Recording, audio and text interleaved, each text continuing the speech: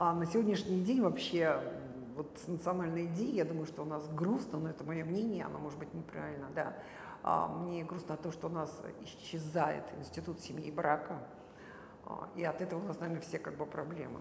И я бы, конечно, хотела, чтобы мы в своих детях воспитывали патриотизм к своей родине. Мы одна из самых больших, кажется, стран в мире, и нам надо как-то сплотиться, к чему-то прийти. Мне грустно от того, что вот то, что было в моем детстве, оно, к сожалению, исчезло. И резюмируем, национальная идея. Национальную идею надо возродить. Но начинать надо с института семьи брака, и я думаю, что наш президент должен задуматься об этом. Потому что если мы это потеряем, мы потеряем все. Это моя точка зрения.